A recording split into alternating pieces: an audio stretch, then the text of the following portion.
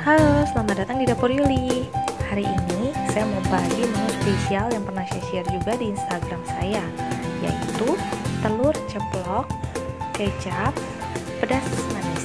Ya, hmm, ini enak banget. Dan kalau kamu suka warteg, ini suka dijual di warteg dan jadi menu andalannya. Yuk kita langsung masak ya. Selamat datang di Dapur Yuli. Hari ini saya mau bagi dengan teman-teman bagaimana saya membuat uh, telur dadar kecap pedas manis ya. Nah, resep ini udah lama mau share ke teman-teman. Saya udah share juga di Instagram saya. Kalian bisa lihat uh, resep dan cara lengkapnya. Tapi kali ini saya mau videoin biar lebih jelas lagi ya buat kalian. Nah, kita langsung ke bahan-bahannya ya. Yang pertama kita butuh menyiapkan uh, bahan-bahan bawang-bawangnya. Nah, pertama sekitar 5 siung bawang merah. Saya iris halus seperti ini. Ya, uh, dua siung bawang putih saya cincang halus. Setengah buah bawang bombay saya iris kasar seperti ini. Satu buah tomat saya potong kotak-kotak seperti ini. Di sini saya ada tiga buah cabai keriting saya iris serong dan tiga buah cabai rawit. Cabai rawitnya saya cuma iris sedikit aja supaya dia keluar pedasnya sedikit. Jadi jangan full karena dia akan pedas banget nantinya dua lembar daun salam satu batang daun bawang satu ruas lengkuas, satu ruas jahe, ya.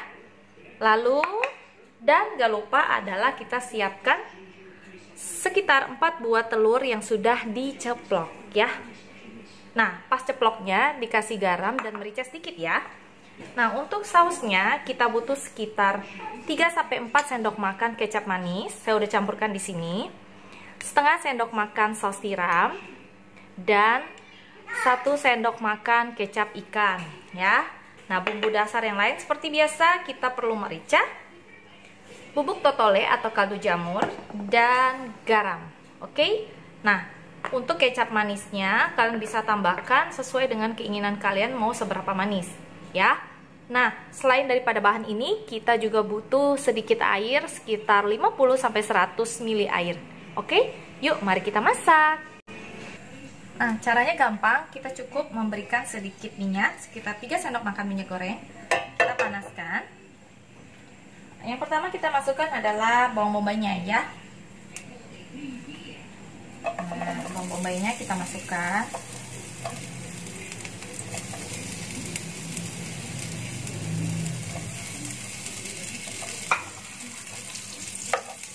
Kita aduk sampai bawangnya keluar ya. Nah,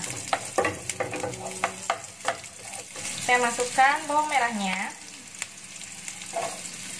Bawang merah lengkuas jahe daun salam dan cabai nah biar aroma cabenya juga keluar ya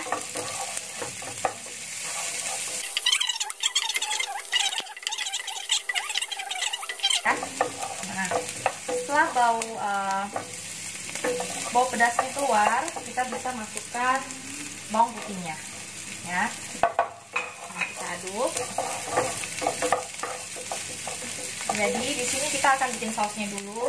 Setelah sausnya jadi kita akan masukkan telurnya. Ya langsung kita siram di atas telurnya. Atau kalau kalian mau godok lagi di sini telurnya uh, sekitar 1 sampai 2 menit supaya meresap ke dalam bumbu-bumbunya juga boleh ya.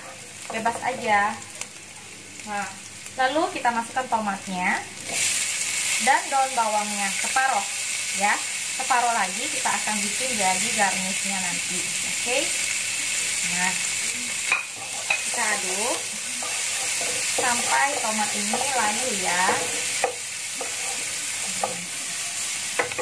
Nah kita aduk sampai layu.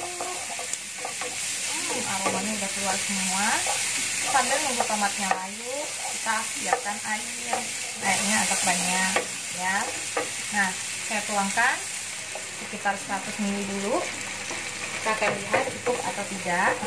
Nah sambil nunggu mendidih saya akan tuang sausnya yang tadi ya. Yang kecap manis saus tiram dan kecap ikannya.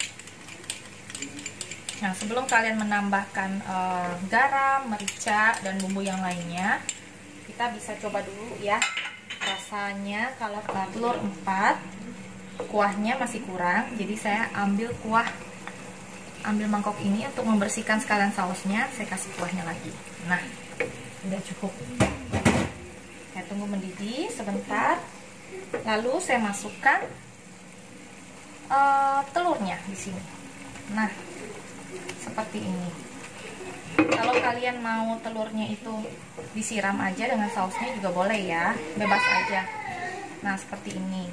Jangan lupa kecilkan apinya ya supaya airnya tidak cepat habis. Nah, nah kita akan coba rasanya. Kurang apa? Hmm, kurang asin sedikit. Kita akan berikan garam merica dan bubuk totole sedikit. Ya. Nah. Kita aduk lagi kuahnya bersama dengan telurnya ini. Nah seperti ini. Hmm, yummy.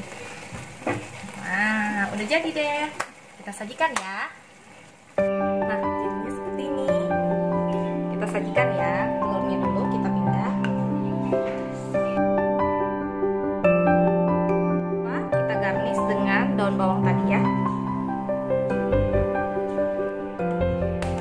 beri taburan bawang goreng.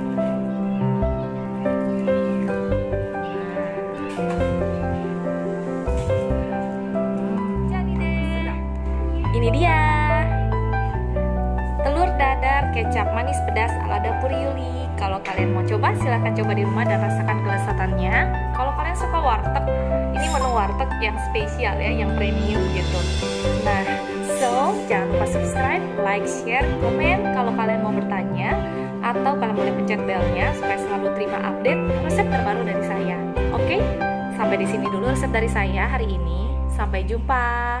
Dadah